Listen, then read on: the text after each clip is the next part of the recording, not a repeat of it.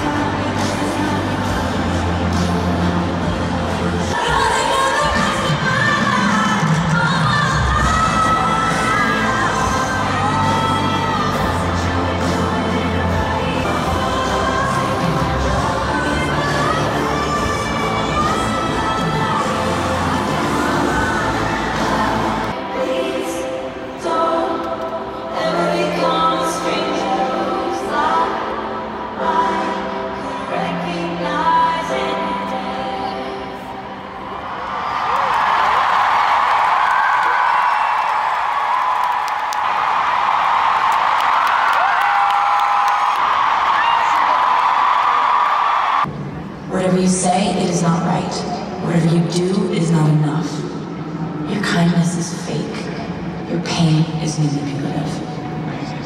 When she lay there on the ground, she dreamed of time machines and revenge and a love that was really something. When she turned to go home, she heard echoes of new words. Without your past, you could never have arrived so wondrously and brutally here.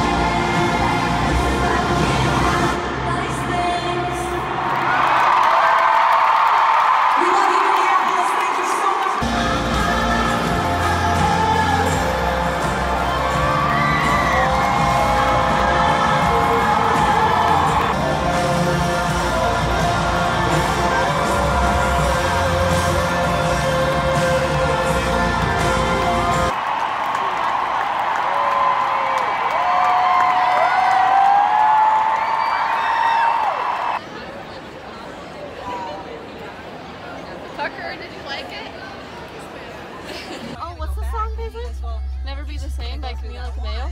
Sure. It won't take long. Better live, right? Yeah, better live. side. Mmm, chicken. Que no te caiga bien. Um, Tucker. She's trying to enter- she's trying to entertain you, Tuck. I do that. Oh my god. Papa John's. I'm coming, Papa John. Oh,